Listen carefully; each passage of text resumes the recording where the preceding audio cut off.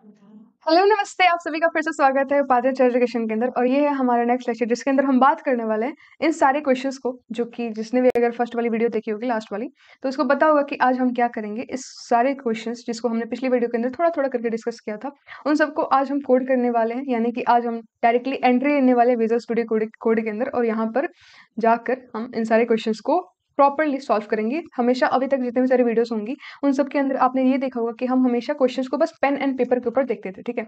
और उतने सारे क्वेश्चंस भी नहीं किए, बस बेसिक कॉन्सेप्ट ही करते थे इसलिए पेन एंड पेपर से ज़्यादा हमें कुछ इस्तेमाल करने की आवश्यकता नहीं पड़ी।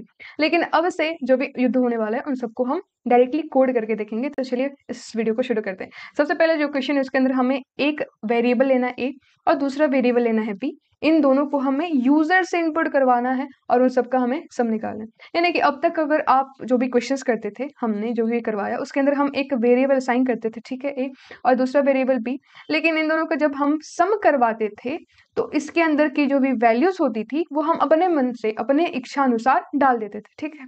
लेकिन अब हमें क्या करना है? और जो क्वेश्चन जो कंप्यूटर था, वो उसका हमें सम निकाल कर दे देता था। लेकिन अब हमें क्या करना है कि हमारी इच्छा को नज़रअंदाज करते हुए, दूसरों की भी इच्छा को समझना है कि हो सकता है कि हमें जो ए के अंदर वैल्यू डालनी है, वो फिफ्टीन हो। लेकिन मेरे भाई को या फिर आपके किसी टीचर को उस ए के अंदर फिफ्टी वन वैल्यू डालनी होगी। उससे अपना जो भी रिज़ल्ट होगा, उसे दूसरी चीज़, दूसरे न्यूमेरिक वैल्यूज़ के अंदर निकालना होगा। तो वो आपके अनुसार तो चलेगा नहीं। उसे क्या चाहिए? यूज़र इनपुट इसलिए हम इस कोड को देखने वाले हैं। और अगर आपने पिछली वाली वीडियोस देखी होंगी तो आपको पता होगा कि हम यूज़र इनपुट कैसे लिखते हैं। अगर नहीं देखी तो जाकर देख लीजिए। हम यूज़र इनपुट किस, इस, कुछ इस तरीके से लेते हैं, ठीक है? और ये क्या होता है? अगर नहीं देखा है तो देख कर आओ। और अगर देख लिया तो चलो, बिना समय के शुरू करते हैं। तो फ़र्स्ट क्वेश्चन है, जिसके अंदर हमें ए लेना है, एक वेरिएबल और दूसरे वेरिएबल हमें बी लेना है। इन दोनों को हमें सम करवाना है। तो आइए शुरू करते हैं। यहाँ पर हमने विजुअल स्टूडियो कोड खोल लिया है। सबसे पहले हमने एक इम्पोर्ट लिया है, जो कि आपको पता होगा, जब भी हमें स्कैनर क्लास को इंड्यूस करवाना होता है तो हमें import Java dot util dot star की आवश्यकता पड़ती है। हमने एक क्लास रेडी किया है, जिसका हमने नाम रखा है इनपुट क्योंकि इसके अंदर हम लोग इनपुट वाले क्वेश्चन देखने वाले हैं, ठीक है? उसके बाद फिर हमारे पास बाइपोलरेट कोड जो आपने अगर देखा होगा उस वीडियो को तो आपको पता होगा अच्छी तरीके से ये क्या है, इसका इस्तेमाल क्यों आता है, वो बाद में बात करेंगे। पर आपको पता होगा इन मेहमान को हमें पहले स्वागत करना पड़ता है, तभी जाकर हमारा जो कोड होता है वो बुरा नहीं मानता और वो रन करता है। तो चलिए सबसे पहले हम क्या करेंगे, एक स्कैनर क्लास इंड्यूस करवाएँगे, जिसका नाम मैंने एससी रखा है which is equal to new scanner यहाँ पर ध्यान रखिएगा स्कैनर हमेशा कैपिटल में होगा, ठीक है? न्यू स्कैनर क्या रहेगा? सिस्टम डॉट इन ठीक है? उसके बाद फिर हमें दो वेरिएबल चाहिए तो मेरा वेरिएबल ए होगा, पहला वाला, जिसके अंदर मैं लिखूँगी एस सी डॉट नेक्स्ट और कैपिटल में इंट ओके फिर सेकेंड वेरिएबल मेरे पास क्या होगा? बी होगा, जिसके अंदर फिर से मैं वही लिखूँगी S C dot next dot int मतलब नेक्स्ट इंट ठीक है? क्या पॉइंट क्लियर है? समझ में आ रहा है? अब हमें क्या करना है? एक वेरिएबल ले लेना है, सम नाम का, जिसके अंदर हमें ए और बी दोनों को जोड़ देना है। तो हम क्या करेंगे? सम नाम के वेरिएबल बना के ए और बी को जोड़ देंगे, ठीक है? फिर हम क्या करेंगे? अपना पुराना वाला चीज़ system dot out dot print इसके अंदर हम ये लिख सकते हैं मैसेज द सम इज़ करके। फिर हम सम को प्रिंट करवा सकते हैं। ठीक है? या फिर अगर आप चाहें तो बिना किसी चीज़ को मतलब बिना किसी मैसेज को विड्रॉ किए डायरेक्टली आप सम प्रिंट करवा देंगे तो भी आपके पास वही होगा। एक बार इस कोड को हम रन करके देखते हैं, हमारे पास क्या आउटपुट आ रहा है। देखिए, हमारे पास ये खुल गया। अब यहाँ पर हमारे पास वैल्यू पूछ रहा है। हम ए की वैल्यू हमने मान लीजिए फिफ्टीन डाली, ठीक है? फिर वी की वैल्यू पूछ रहा है तो मान लीजिए हमने बी की वैल्यू ट्वेंटी डाली। तो हमारे पास आउटपुट में आ गए the sum is thirty five और आपको पहला प्रोग्राम जो आपने अभी हमारे साथ किया, वो सक्सेसफुल हो गया, ठीक है? ये फ़र्स्ट प्रोग्राम था, बहुत बेसिक सा था सिंपल सी चीज़ें हैं, वहीं ए बी करना है, बस इसके अंदर हमने यूज़र इनपुट डलवा दिया। इस चीज़ को आप दोबारा भी कर सकते हो, आप अपने इच्छानुसार से कोई भी वैल्यू डाल सकते हो। अगर आपने ये प्रोग्राम अभी देखा तो आप वीडियो को पॉज कीजिए और दोबारा से खुद से ट्राई कीजिए, उसके बाद ही नेक्स्ट प्रोग्राम के अंदर पढ़िएगा, ठीक है? तो चलिए अब अगले क्वेश्चन की तरफ़ हम प्रस्थान करते हैं, क्योंकि तो हमने तो अपना काम कर लिया है। सेकंड क्वेश्चन के अंदर हमें यूज़र ही इनपुट लेकर, लेकिन हमें ए और बी का प्रोडक्ट निकालना यानी कि वही चीज़ है, बस ए गुण बी कर देना है है ना? समझ में आया ना? तो चलिए इस क्वेश्चन को भी वैसे ही करेंगे। बस आपको इतना पता है कि हमें ए को तो इनपुट लेना है और बी को भी इनपुट लेना है। बस यहाँ पे सम की जगह में प्रोडक्ट होगा तो ज़्यादा छेड़छाड़ ना करते हुए बस छोटे छोटे चेंजेस के साथ हम लोग यहाँ पर इंटू कर देंगे, ठीक है? और इस प्रोग्राम को दोबारा से रन करवा देंगे और यहाँ पर सम की जगह प्रोडक्ट लिख देंगे, क्योंकि हमें क्या चाहिए? प्रोडक्ट चाहिए। क्या पॉइंट क्लियर है? और यहाँ पर फिर से सम की जगह हम क्या लिख देंगे? प्रोडक्ट लिख देंगे। ठीक है। समझ में आ रहा है? क्या मैंने कहा? नहीं समझ में आ रहा, फिर से करते हैं। हमने वही दो बाइपोलरेट कोड करवाए ठीक है स्कैनर से एक क्लास बनाई। फ़र्स्ट इनपुट लिया हमने कि ये क्या हो गया भाई? रुक जाओ। फ़र्स्ट में हमने लिया इंट ए ठीक है, यानी कि एक वेरिएबल ले लो, फिर हमने लिया इंट बी बी एक वेरिएबल ले लो, फिर हमने लिया इंट प्रोडक्ट यानी कि ए और बी को इंटू करवा दो। जैसा कि हमें पता है, जैसा कि हमारा क्वेश्चन कहता है, उसके बाद फिर हमने प्रिंट करवा दिया द प्रोडक्ट इज़ उसके बाद प्रोडक्ट को एग्जिट करवा दो। एक बार रन करके देख लेते क्या आता है हमारे पास, और यहाँ पे कुछ क्वेश्चन ओके सॉरी सॉरी यहाँ पे देखो प्रोटो हो गया। तो प्रोटो तो आएगा नहीं प्रोडक्ट आएगा।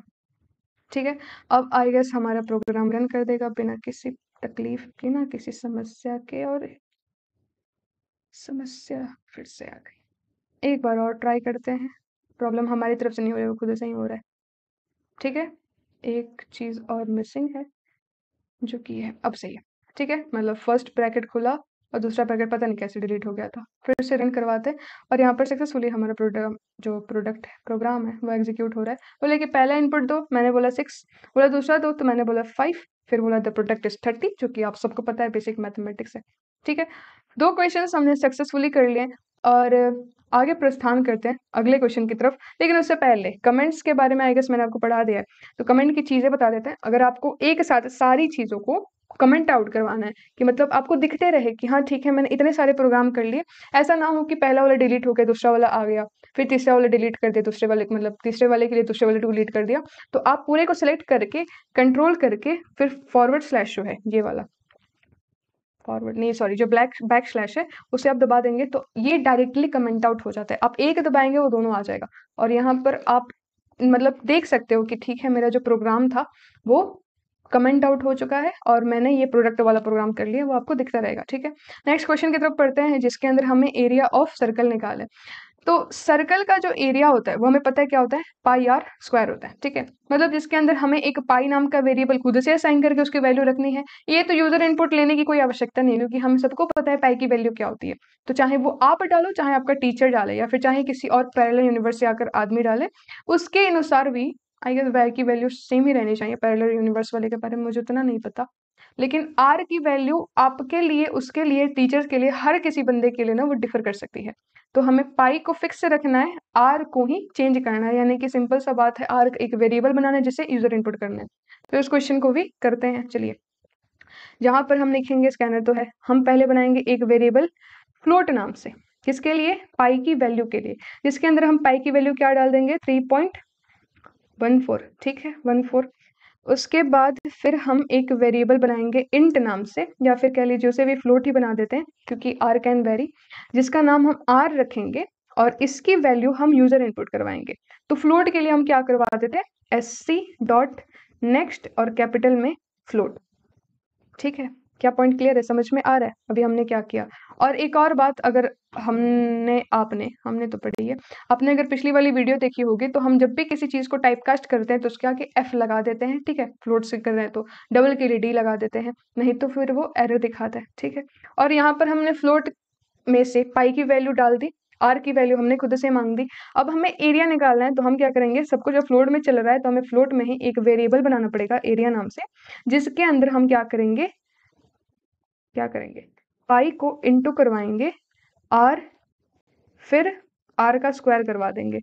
आर का स्क्वायर लेकिन अगर आप ऐसे करोगे ना तो प्रॉब्लम हो जाएगा। उसके लिए आपको फिर क्या करना पड़ेगा? एक और, जैसे हमने ना यहाँ पर इम्पोर्ट जावा डॉट यूटिल करवाया है, जिसका मतलब ये कि स्कैनर की क्लास इंड्यूस हुई है तो उसके साथ आपको मैथ की भी क्लास इंड्यूस करवानी होगी। उसके लिए जब तक पढ़ा नहीं है तो उसको पहले पढ़ाने की कोई मतलब कोई मतलब ही नहीं बनता। इसलिए हम यहाँ पर थोड़ा बेसिक सा मैथमेटिक्स लगाएँगे और यहाँ पर आर इंटू आर करके चीज़ें शॉर्ट आउट कर देंगे।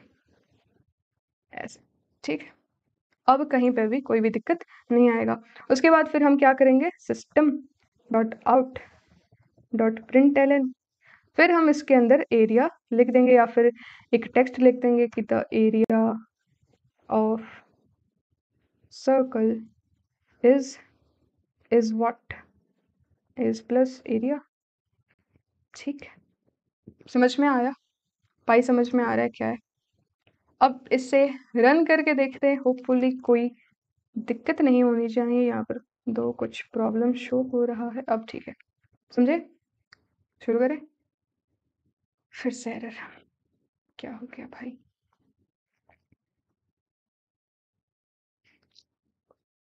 प्रॉब्लम ये है कि हमने एक ब्रैकेट खोला है, दूसरा ब्रैकेट बंद नहीं किया, ओके। अब सही होना चाहिए, चलिए फिर से ट्राई करते हैं। ओके सो हमारा ये भी प्रोग्राम रन हो गया। यहाँ पर बोला कि आर की वैल्यू डालो तो मैंने आर की वैल्यू सेवन डाली। और हमारे पास the area is of the circle is इतना आ गया, जबकि पॉइंट में वैल्यू आई है। आपको समझ में आ रहा होगा, ये पॉइंट में वैल्यू अगर नहीं आती, क्यों नहीं आती? अगर हमने फ्लोट नहीं इस्तेमाल किया होता तो आपके पास फ्लोट आई मीन जो पॉइंट में वैल्यूज़ नहीं आती। अगर आपको लग रहा है कंप्यूटर अगर गलत है तो अपना दिमाग लगाएँ और इन सबकी वैल्यूज़ को पुट करके आंसर निकाल दें। मैंने सेवन डाला था, ठीक है? यहाँ भी क्लियर है। हमने फ्लोट वाला क्वेश्चन भी कर लिया। इससे फिर से एक बार कमेंट आउट कर देते हैं। अब समझ में आया, पिछली बार क्या दिक्कत हुआ? हुआ ये था कि हमने इस वाले ब्रैकेट को भी ना, जो यहाँ पर ओपन हुआ था, उसे भी कमेंट आउट कर दिया था, इसलिए प्रॉब्लम दे रहा था। इससे स्पेस देते हैं। और आगे नेक्स्ट क्वेश्चन की तरफ़ बढ़ते हैं। नेक्स्ट क्वेश्चन कहता है कि टेक थ्री नंबर्स इनपुट हमें तीन नंबर को इनपुट लेना है और उसका हमें एवरेज निकालना है। तो एवरेज हमें पता है एवरेज यानी मीन मीन यानी कि X plus Y plus Z करना है, उसको बाई डिवाइडेड बाई थ्री करना है। सिंपल सी चीज़ है, तीन वेरिएबल्स लेने आप अगले अगर पिछला वाला क्वेश्चन नहीं किया तो स्टॉप करके पहले उसे सॉल्व करें, फिर आगे बढ़िएगा। अब इंट में ही हम बात करेंगे तो हमने एक वेरिएबल लिया इंट एक्स जिसकी वैल्यू हम S C dot next int से लेंगे। ठीक है? फिर हम लिखेंगे इंट वाई जिसकी वैल्यू फिर से हम S C dot next int से लेंगे। फिर हम लिखेंगे इंट जी जिसकी वैल्यू फिर से हम S C dot next int से लेंगे। उसके बाद फिर हम एक वेरिएबल क्रिएट करेंगे एवरेज नाम का ए वी जे जिसके अंदर हम X plus Y plus Z divided by three करेंगे। जिससे हमारे पास एवरेज आ जाएगा। उसके बाद फिर हम लिखेंगे सिस्टम ऑर्डर प्रिंट एलन इतना बड़ा लिखने की जगह। हम प्रेफर करेंगे कॉपी पेस्ट फिर लिखेंगे हम दी एवरेज इज़ प्लस क्या? ए बी जी ठीक है? समझ में आ रहा होगा। क्या क्या? किया एक बार फिर से देख लेते वरना फिर से पोपट होगा। एक ब्रेसेस फिर से खुला ही छूट गया। अब सही है। ठीक है? समझ में आया? हमने दो क्वेश्चंस कैसे किए? हमने कमेंट आउट कर दी, ये ब्रेसेस हमेशा भूल जा रहा है अपना जगह, इसलिए हमें दो दो ब्रेसेस लगाने पड़ रहे हैं, नहीं तो फिर से एरर आता पिछली बार की तरफ़ इसे फिर से रन करते हैं और देखिए हमारे पास सही सलामत से आउटपुट आया, बोले कि पहले बोल रहा है ना, वो एक्स डालो, मैंने एक्स डाला, फिर बोले वाई डालो, मैंने वाई डाला, फिर बोल रहा है कि तुम जी डालो तो बोल रहे थे एवरेज इज़ एट आप करके देख सकते हो। सो ये था हमारा सक्सेसफुली डन थर्ड प्रोग्राम आगे बढ़ते हैं नेक्स्ट क्वेश्चन की तरफ़, जो कि है, क्या है? चेक करते हैं क्या नेक्स्ट क्वेश्चन कहता है कि in a program input the side of a square and find the area तो ये सिंपल है यार एरिया ऑफ़ सर्कल की जैसा ही आपको एरिया ऑफ़ स्क्वायर का फॉर्मूला पता होगा ए स्क्वायर होता है, ठीक है? उसको ना करते हुए हम इस वाले क्वेश्चन करूँगे, जो कि ज़्यादा इंपॉर्टेंट है और थोड़ा सा ज़्यादा मतलब लाइक होता है ना, थोड़ा अलग सा क्वेश्चन है। ये क्वेश्चन मिट चुका है एक्चुअली देखते हैं क्वेश्चन क्या कहता था। क्वेश्चन क्या कहता सो क्वेश्चन कहता है कि enter cost of three items samosa ice cream and Pepsi था उसमें। तो हम यहाँ पे ऐड कर देते हैं। फिर find totally cost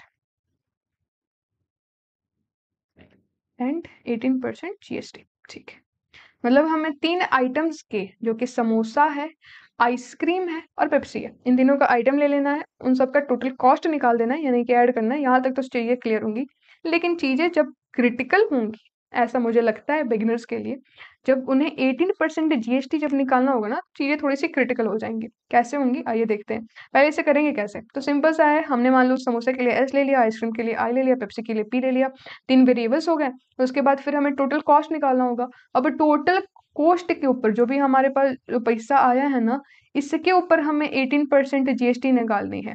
यानी कि हम इस टर्म को ऐसे भी तो लिख सकते हैं ना पॉइंट एटीन और एफ़ कर देंगे तो फ्लोट में हो जाएगा। बस इतना ही सा करना है। ज़्यादा कुछ क्रिटिकल नहीं है। एक बार आओ, देखते हैं। अभी नहीं समझ में आया तो धीरज रखो। चिंता मत करो, हम करके देखेंगे। क्यों नहीं होगा? सबसे होगा। योगा से ही होगा। ठीक है? हमने क्या किया? हम फ्लोट में नहीं लेंगे, क्योंकि हमारे पास जो जीएसटी है, वो सॉरी हम इंट में नहीं लेंगे, क्योंकि हमारे पास जो जीएसटी है, वो पॉइंट के अंदर आ सकती है। तो हमारे पास जो टोटल कॉस्ट होगा, वो हो सकता है। जीएसटी के साथ ले लो तो हम यहाँ पर फ्लोट ज़्यादा तरीके, अच्छे तरीके से ना प्रेफर करेंगे। तो फ्लोट हमने सम से ले लिया है, फिर सैम समोसा समोसा लिख लेते हैं। समोसा, ठीक है? अब हमें इसको प्रिंट करवाना है। मतलब खुद से बताना है ना कि हर दुकान के हिसाब से चाय की टपरी पे समोसा कुछ कम रुपए का मिलता है, हल्दीराम में समोसा थोड़ा ज़्यादा रुपए का मिलेगा। फिर अगर कहीं लोकल सा या फिर अच्छा वाला वी आई पी स्वीट्स है तो उसके अंदर जो समोसा है उसका जो प्राइस है वो डिफर करता है। तो इसीलिए हम इससे अपने हिसाब से ना लेकर यूज़र के हिसाब से रखेंगे मतलब जिस दुकान पे जाए, उस दुकान पे समोसे की भाव बदलते जाए। आइसक्रीम के लिए भी वही रखेंगे, ठीक है? क्यों? क्योंकि डिपेंड करता है ना कि हो सकता है मुझे बस मुझे जो खाना हो, वो आपको ना खाना हो तो मेरे को मान लो दस वाली आइसक्रीम अच्छी लगती है, आपको पचास वाली अच्छी लगती होगी तो वो डिफर करता है। ओके इसके लिए हम क्या करेंगे? हम लिखेंगे S C dot next float फिर हम पेप्सी का बात करेंगे। पेप्सी जो कि होगा S C dot next float यहाँ तक क्लियर है? समोसा आइसक्रीम पेप्सी जो भी कर रहा है उसके ऊपर ध्यान मत दो। अब हमें ना इसका टोटल कॉस्ट निकाले हैं, फिर जितने भी सारी चीज़ें उन्हें जोड़ दो तो क्या करेंगे? इसके लिए भी हम एक फ्लोट ही आइटम ले लेते हैं, जिसका नाम लिखेंगे टोटल और स्पेस नहीं देते, नाम के वक्त। तो टोटल कॉस्ट इक्वल्स टू हमें लिखना है samosa plus ice cream plus Pepsi add कर दिया इसने, है ना? अब क्या करेंगे? अभी तक तो हो गया। अब इसे एक बार प्रिंट करवा लेंगे ताकि ज़्यादा चीज़ें जो है वो क्लियर हो सके कि हमने अभी क्या प्रिंट करवाया। तो हम इधर लिख देंगे the total cost of items are what is it? Plus करवा के हम लिखेंगे टोटल अंडरस्कोर कोस्ट इससे क्या होगा? अगर अभी तक का अगर प्रोग्राम अगर आप बस रन करोगे ना तो आपके पास जो भी आइटम्स अगर आप डालोगे उसका एक कोस्ट निकल जाएगा। लेकिन आपको सिर्फ़ उतना तो करना है नहीं, आपको तो एटीन परसेंट जीएसटी भी चाहिए। तो आप अब इसके ऊपर, ये जो भी हमें प्राइस मिला है, यानी कि यहाँ पर जो भी हमें प्राइस मिलने वाला है इसके बाद से, इसके ऊपर अब हमें एटीन परसेंट जीएसटी चाहिए। तो वो कैसे करेंगे? आओ देखते हैं। अब देखो, हमने यहाँ तक जो चीज़ें की वो आपको समझ में आई। अब आगे देखते हैं कि हमें करना क्या है। हम करेंगे क्या? हम एक वेरिएबल असाइन करेंगे, जिसका नाम लेंगे कि न्यू टोटल ठीक है? उस न्यू टोटल के अंदर हमें क्या करना है? जो हमारे पास जो टोटल कोस्ट है, जो कि इस वाले चीज़ से आया, यहाँ तक की जो भी सारी चीज़ें हुई, इनके बाद जो भी टोटल कोस्ट आया, उसको प्लस कर देना है किसके साथ? पॉइंट एटीन जैसे मैंने बताया पॉइंट एटीन कहाँ से आया तो हमें एक्स अमाउंट को एक्स अमाउंट के ऊपर हमें जीएसटी लगाना है तो हम एक्स अमाउंट के ऊपर ऐसे कर सकते हैं ना कि एटीन अपॉन हंड्रेड ये भी तो एटीन परसेंट जीएसटी मिल जाए इसका मतलब तो यही हुआ ना, कुछ ऐसे लिखो या फिर ऐसे लिखो, बात तो एक ही है। और फ्लोट एफ़ हमने क्यों लिखा? क्योंकि हम टाइप कास्ट कर रहे हैं। इनटू हम क्या कर देंगे? टोटल कर देंगे, ठीक है? यानी कि ये वाले प्राइस ये टोटल भूल जाओ या फिर टोटल कॉस्ट लिख लो। कहाँ गया यार? एक सेकेंड हाँ। तो हमें इसके साथ पहले इसको इनपुट करना है, यानी कि एटीन परसेंट जीएसटी उसके साथ साथ इस प्राइस को भी बनाना है। यानी सिंपल से समझो, मेरे पास पाँच सौ रुपए टोटल में, ठीक है? तो 500 के ऊपर मुझे अठारह परसेंट जीएसटी चाहिए चाहिए कि नहीं चाहिए? तो इसके बाद मेरे पास क्या आएगा? 15 इंटू फाइव इंटू एटीन आएगा, जो भी अमाउंट होगा, वो मेरे इसके बराबर होगा। लेकिन ये क्या हुआ? ये सिर्फ़ 500 के ऊपर जीएसटी आया। लेकिन मुझे सिर्फ़ जीएसटी तो चाहिए नहीं ना। पेमेंट में सिर्फ़ क्या जीएसटी करने वाले, आप दुकान पे जाओगे, दुकान वाले से आप सामान कुछ खरीदोगे मान लीजिए आपने यही सारे तीनों आइटम्स खरीदे तो वो पहले तो आपको एक अमाउंट बोलेगा, उसके अंदर फिर अगर आप मॉल वगैरह में भी जाते हो तो उसके अंदर आप जब भी रिसिप्ट देखते हो तो उसके अंदर होता है ना टोटल इतना हुआ प्लस जीएसटी इतना हुआ, उसके बाद फिर ग्रैंड टोटल करते है कि नहीं? तो वहीं अभी हमने जो भी निकाला, ये जो भी एक्स अमाउंट आएगा, ये क्या होगा? ये सिर्फ़ और सिर्फ़ जीएसटी है। ठीक है? जीएसटी को हमें अब टोटल के साथ प्लस करना है, जो मैंने यहाँ पे किया। पहले तो हमने ये जो भी किया, अगर ना समझ में आ रहा हो तो दोबारा से देखो इस वाले के अंदर। हमने ये सारा जो भी किया, यानी कि 18 परसेंट जीएसटी हमने निकाल ली अपने टोटल प्राइस के ऊपर, है ना? इसको अब हमें ये जितना भी प्रोडक्ट था, ये क्या था? ये सिर्फ़ और सिर्फ़ जीएसटी के लिए था। और इसके बाद ये जो भी हमारे पास एक्स अमाउंट है, या फिर कह लो ये मेरे हिसाब से पाँच सौ रुपये जो कि मैंने यहाँ पे लिया, इसको मैं उसके साथ ऐड कर दूँगी। अगर ये वाली बातें नहीं समझ में आए तो माथा पेची ना करो, बस दोबारा वीडियो को थोड़ा सा रिवाइंड करके देख लो, आपके पास ऑप्शन अवेलेबल है। लेकिन उतना ज़्यादा डिटेल में नहीं जाना है, बस सिंपल सा क्वेश्चन था कि आपको जीएसटी निकालने आता है कि नहीं? अगर आता होगा तो आपको ये क्वेश्चन ईजिली समझ में आ गया होगा। अगर नहीं आता है तो ज़्यादा लोड लेने की आवश्यकता नहीं है, क्योंकि ये क्वेश्चन हर जगह नहीं पूछते, बस आपकी जनरल नॉलेज के लिए था। अब हमें क्या करना है, हमें एक वेरिएबल बनाना है फ्लोट नाम से मतलब फ्लोट को यूज़ करके न्यू टोटल कोस्ट नाम से, ठीक है? इसके अंदर हम क्या करने वाले हम पहले करेंगे टोटल कोस्ट को point one eight F into into what total cost है ना? फिर हम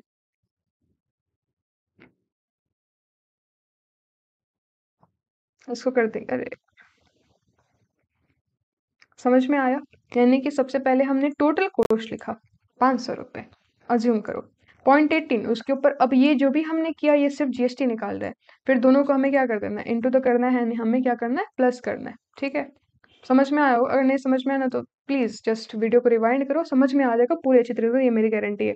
फिर हम क्या करेंगे भाई system dot and print L और यहाँ पर हम लिख देंगे the price with G S T is space sorry फिर हम यहाँ पर न्यू टोटल कॉस्ट चीज़ें क्लियर है? समझ में आया? सारी चीज़ें क्लियर है। एक भी चीज़ें ओके समझ में आ गया होगा। एक बार फिर से समझाने की आवश्यकता मुझे नहीं लगती है क्योंकि मैंने बहुत ज़्यादा टाइम स्पेंड कर दिया इस क्वेश्चन के ऊपर।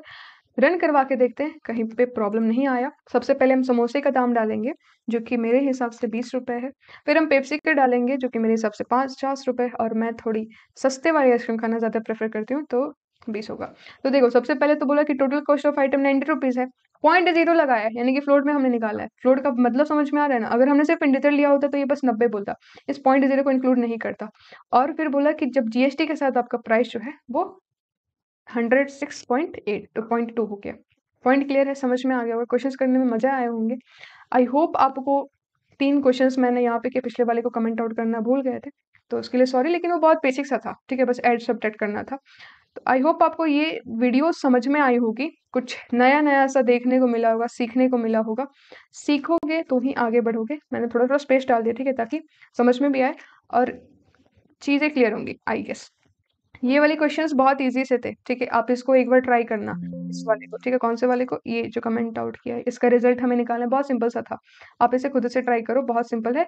नेक्स्ट वीडियो के अंदर हम ना ऑपरेटर्स के ऊपर बात करने वाले यानी कि जो प्लस माइनस इनका यूज़ क्या होता है, कहाँ होता है, कैसे होता है, उन सब के बारे में बात करने वाले so thank you for watching this video I hope आपको बहुत ज़्यादा ही आनंद आया होगा इस वीडियो के अंदर। मिलते हैं अगले वीडियो के अंदर।